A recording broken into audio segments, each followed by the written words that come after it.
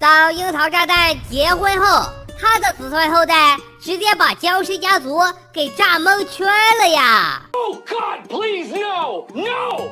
当樱桃炸弹与魅火菇结婚后，他们的孩子魅火樱桃，只要在爆炸范围内直接炸魅火，不管什么僵尸，简直无情。当樱桃炸弹与豌豆结婚后，他们的孩子樱桃豌豆爆炸之后发出大量豌豆攻击僵尸，看着视觉效果还是不错的。当樱桃炸弹与投手结婚后，他们的孩子樱桃投手投射樱桃，这攻击我想没有僵尸能够扛得住吧。当樱桃炸弹与菇类结婚后，他们的孩子狍子樱桃爆炸之后释放无数狍子子弹攻击僵尸，这僵尸直接就给炸蒙圈了呀！